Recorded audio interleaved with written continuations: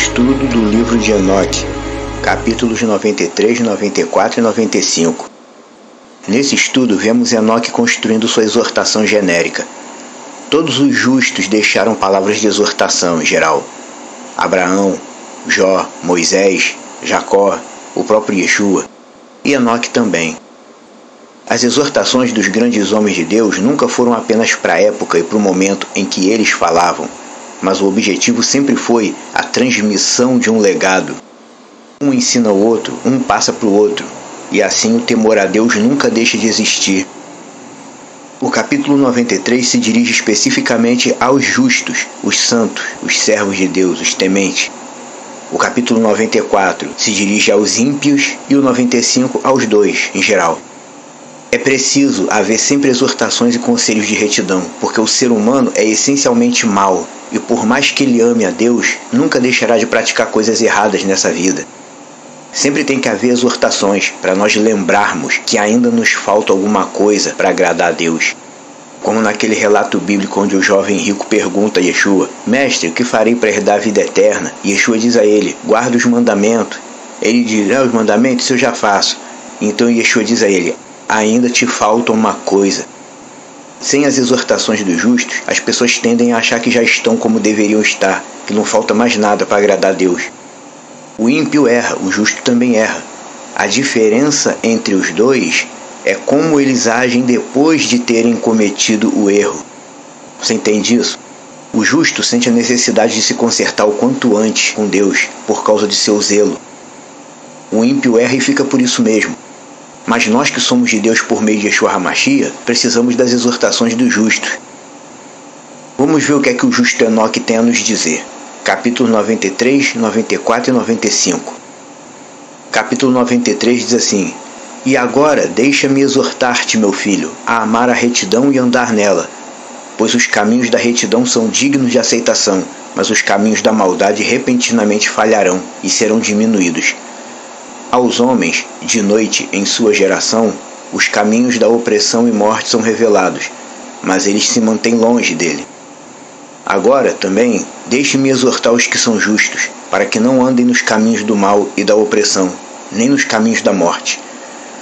Não se aproximem deles para que não seja destruído, mas desejem e escolham para vocês mesmos retidão e boa vida.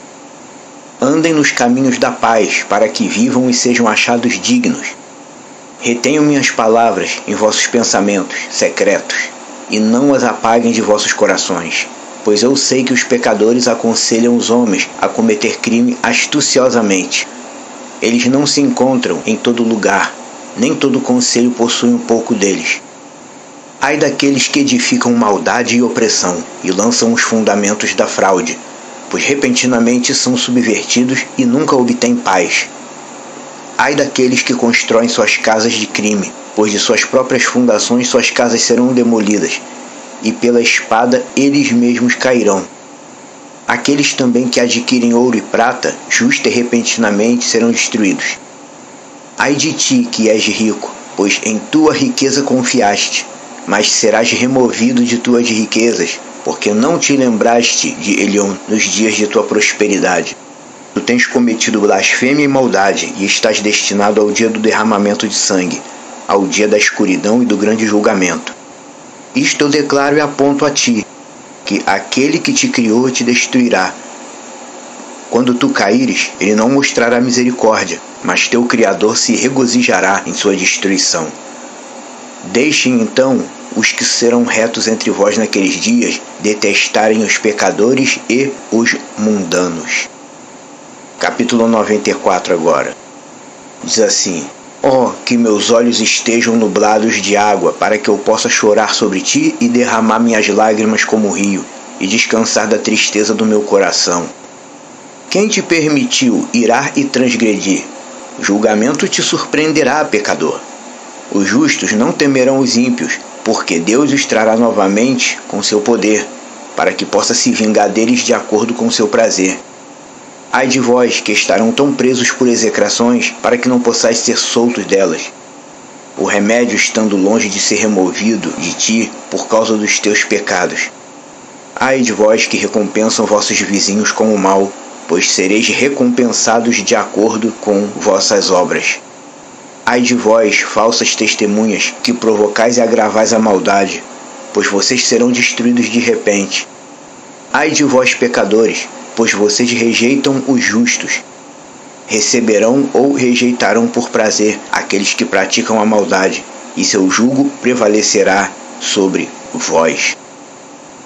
Capítulo 95 diz assim: Aguardai em esperança, vós, justos, pois os pecadores serão destruídos diante de vós, e vocês exercerão domínio sobre eles de acordo com vosso prazer. No dia dos sofrimentos dos pecadores, vossa descendência será alçada e elevada como águia. Vossos ninhos serão mais exaltados que o da veste. Tu subirás e entrarás nas cavidades da terra e nas fendas das rochas, para sempre, como os coelhos, da vista dos mundanos os quais gemerão sobre vós e chorarão como sirenes. Tu não temerás aqueles que te aborrecem, pois a restauração será tua. A esplêndida luz brilhará ao redor de ti, e a voz da tranquilidade será ouvida do céu. Ai de vós, pecadores, pois vossa riqueza vos faz assemelhar aos santos, mas vossos corações vos reprovam, sabendo que sois pecadores. Vossas palavras testificaram contra vós, como lembrança do crime. Ai de vós, que se alimentam sobre a glória do milho e bebem da força da mais profunda fonte, e no orgulho de seu poder pisam nos humildes. Ai de vós que tomam água por prazer, pois repentinamente sereis recompensados, consumidos, e murchareis, porque esqueceste da fundação da vida. Ai de vós que age iniquamente, fraudulentamente e em blasfêmia. Lá haverá uma lembrança contra vós, por mal Ai de vós, poderosos, que com poder ferem a justiça, pois o dia de vossa destruição virá, enquanto naquele mesmo tempo muitos e bons dias será a porção dos justos, mesmo tempo do vosso julgamento. Essa foi a leitura do capítulo 95. No capítulo 93, Enoque se dirige especificamente aos justos, aos servos de Deus que cometeram algum pecado, algum deslize, Afinal de contas, servos de Deus são humanos e também cometem atos de pecado várias vezes durante sua vida aqui na terra. Yohanan, o chamado apóstolo João, nos advertiu em seus escritos dizendo: Se dissermos que não pecamos, fazemos dele um mentiroso. Dele se referindo a Yeshua. Se dissermos que não pecamos, fazemos dele um mentiroso e a verdade não está conosco. 1 de João 1,10 as exortações do livro de Enoque, como sempre, estão totalmente em linha com os escritos do Pacto Novo, que chamam de Novo Testamento. Os próprios discípulos de Yeshua viveram numa época em que o livro de Enoque tinha grande autoridade no meio do povo. Esse tipo de coisa que a gente vê no livro de Enoque, esse tipo de ensinamento, ensinamento correto, a mentalidade messiânica correta. Somos humanos, somos todos humanos, e por isso às vezes o servo de Deus não dá ouvidos à palavra boa. Às vezes ele se deixa levar pela facilidade que aparece diante dele e constrói uma vida baseada em conceitos errados. Mas isso também é um divisor de águas. Porque seja crente, seja católico, seja lá o que for, se é de Deus e vive no erro, vai chegar a hora que Deus vai providenciar a queda do indivíduo e vai restaurar o indivíduo a partir disso. Isso se é dele. Porque se não é realmente de Deus, vai conseguir permanecer intocável dentro de seu próprio erro e vai até prosperar materialmente dentro do erro. Isso quem não é de Deus. Quem é de Deus e está no erro, Deus quebra para consertar de novo, como se diz por aí. Por isso o versículo 11, Enoque 93, 11 diz: Você que é de Deus, você precisa aprender a odiar o mal.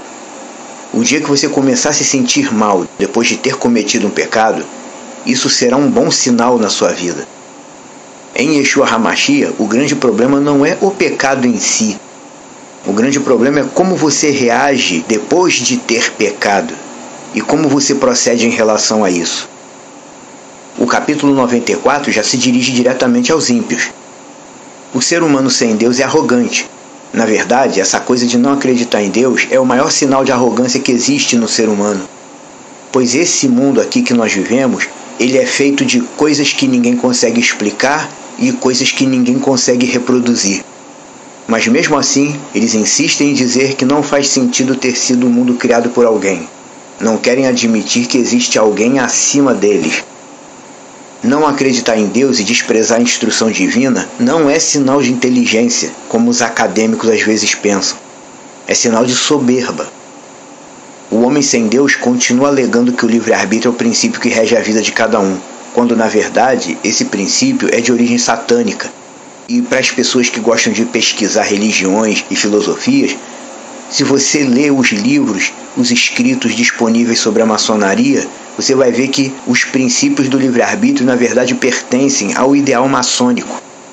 Inclusive, dentro dos próprios escritos maçônicos, vemos Albert Pike, que é o principal ícone da maçonaria, ele usa uma expressão esquisita. Ele diz que Satã é o representante da liberdade, do livre-arbítrio. Todas as religiões de ocultismo sempre ensinaram esse princípio de que você é livre para construir, para decidir. Desde o passado que isso é ensinado. Que eles dizem que cada um é dono do próprio futuro, cada um constrói o próprio destino, mas isso não existe diante do Deus Criador. Yah disse: Minhas são todas as almas, tanto a alma do Pai quanto a alma do Filho. A alma que pecar morrerá. Ezequiel 18:4.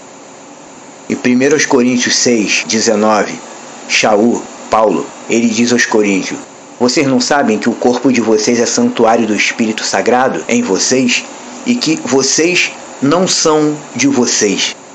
o próprio Paulo afirma categoricamente: se você é um homem de Deus, você não se pertence. O seu corpo não é seu, é de Deus. Você não pertence a si mesmo. Na verdade, todo ser criado pertence a Deus e não a Ele mesmo. Nós fomos criados para fazer jus ao Deus que colocou em nós sua própria imagem e fomos criados também para vivermos para Ele, de acordo com a instrução dele, sempre reconhecendo que Ele é o mandatário superior de tudo e que rege sobre todas as coisas. Enoque 94:3 diz: Quem te permitiu irar e transgredir? Um julgamento te surpreenderá é o juízo em troca da desobediência. Quer dizer, você e eu não fomos criados para fazer o que queremos. Não existe nenhuma parte escrita na Bíblia e nem nenhum outro escrito nazareno dando respaldo a essa ideia de que a tua vida é tua e que você é dono dela. Não existe isso dentro do texto sagrado. Existe uma religião chamada Wicca, que é conhecida como a bruxaria do bem, que se utiliza do slogan do Aleister Crowley, Contanto que mal não faças, faças o que quiseres. O princípio do livre-arbítrio é esse. Só que esse pensamento vem do homem chamado Aleister Crowley, que ficou conhecido como o pai do satanismo moderno. Esse pensamento, em comparação com a Bíblia, ele é muito relativo. Contanto que mal não faça, faça o que quiserem. Na Bíblia nós aprendemos que muitas das coisas que a gente faz por nossa própria conta está irritando a Deus. Você lendo o capítulo 8 do livro de Ezequiel, você vai entender isso bem. Onde Deus mostra ao profeta Ezequiel, em visão, o povo fazendo várias coisas, vários atos de adoração pagã, várias coisas que Deus mostra a Ezequiel, o povo realizando em oculto, e Deus dizendo a Ezequiel: Veja o que eles estão fazendo para me irritar. Esse slogan de ah, contanto que mal não faça, faça o que quiseres. Esse é o slogan do pai do satanismo moderno. Tem coisas que a gente faz que teoricamente não está fazendo mal para ninguém, mas está irritando a Deus. Só quem conhece a palavra de Deus entende isso. O satanismo moderno engloba pensamentos como o hedonismo e a exaltação da vontade humana acima da vontade de Deus. Não podemos esquecer que o nosso Deus, Yah, tem suas leis. Há um compêndio de normas e instruções dele que precisamos levar em conta enquanto estamos aqui nesse mundo. E é isso que nos dará entrada no reino dele e na eternidade definitiva. Tem muita igreja por aí se fundamentando em filosofia de satanismo e de maçonaria sem perceber. E muita igreja também se fundamentando em princípios do budismo, hinduísmo, às vezes sem perceber, mas às vezes sabendo. Já o capítulo 95 vem para trazer a esperança aos santos e justos que são oprimidos e desprezados por fazerem o que é certo. Algumas poucas pessoas conseguem contabilizar mais obediência do que desobediência diante de Deus, e é sobre esses que o autor de Hebreus diz: O mundo não foi digno da presença deles. Desde o versículo 1 até o último versículo, o 8, no capítulo 95, nós encontramos o mesmo cenário descrito no capítulo 66 de Isaías. Os salvos verão a destruição dos ímpios com os seus próprios olhos. Aí você vai dizer assim, ué, mas como assim? Deus é sádico? Não, não é que Deus é sádico. É a justiça de Deus sendo feita do jeito que ele descreve na palavra dele. Os ímpios sempre blasfemaram e zombaram de Deus e das coisas de Deus, e sempre fizeram piada com as coisas sagradas, e continuam vivendo por aí como se não tivessem feito nada demais. Um dia terão que pagar por isso. Como diz na Bíblia, não se zomba de Deus, aquilo que o homem planta ele colhe. A pessoa pode estar zombando de Deus o quanto for atualmente, mas um dia a pessoa vai pagar por isso. E as pessoas riem às vezes ao ouvir isso, mas no dia ninguém vai rir. No dia vai ser tudo como Deus planejou e tudo como ele estabeleceu. A glória dos justos deve sempre ser reafirmada diante daqueles que não quiseram respeitar a santidade e a justiça de Deus. É por isso que Isaías 66, 24 diz que os salvos sairão e verão os cadáveres daqueles que desobedeceram a Deus. E diz ainda: Porque o verme nunca morrerá e o fogo não apagará nunca, e será um horror para toda a carne. Com isso, vemos claramente que Deus sempre tem uma palavra de incentivo para todo aquele que ama a glória dele e que tem esperança em sua vinda para corrigir o mundo material. É assim que está predito e é assim que acontecerá. A Brit Hadashah, Pacto Novo, que chamam de Novo Testamento, mas a tradução adequada é Pacto Novo. A Brit Hadashah não contém só palavras de bênção para quem está em Yeshua, não ela também contém palavras de maldição e de morte para quem estiver merecendo ser destruído. Ou você nunca percebeu isso? Se você não lembra, eu vou refrescar sua memória. Shaul, escrevendo aos Gálatas, ele disse: Se alguém vem e anuncia um Yeshua diferente do que tem sido anunciado, seja anátema. Na versão original grega, o que está dizendo é: seja banido. Isso por acaso é uma palavra de bênção? Yeshua diz: É inadmissível que hajam tropeços, mas ai daquele por quem um tropeço vem. Melhor seria que se amarrasse uma pedra no pescoço e fosse lançado ao mar. Palavra de maldição contra aqueles que causam tropeço aos filhos de Deus. Enfim, esse foi o estudo resumido dos capítulos 93, 94 e 95. Palavras de exortação que nós precisamos ouvir, porque nós precisamos das palavras de exortação.